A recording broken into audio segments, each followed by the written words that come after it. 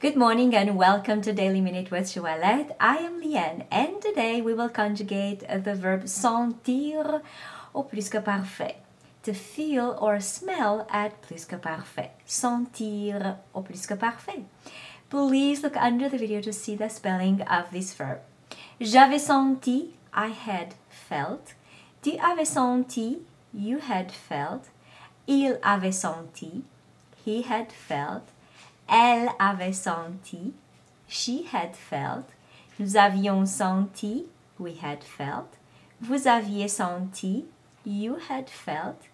Ils avaient senti, they had felt masculine. Elles avaient senti, they had felt féminine.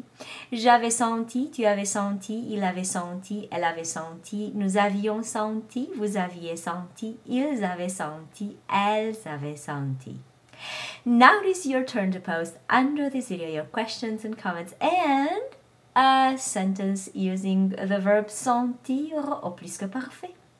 So if you like this video, please subscribe to this channel and share it with your friends. And if you'd like to receive my free French crash course, please come on over to J-Ouellette.com and subscribe to the newsletter. Merci beaucoup et à demain!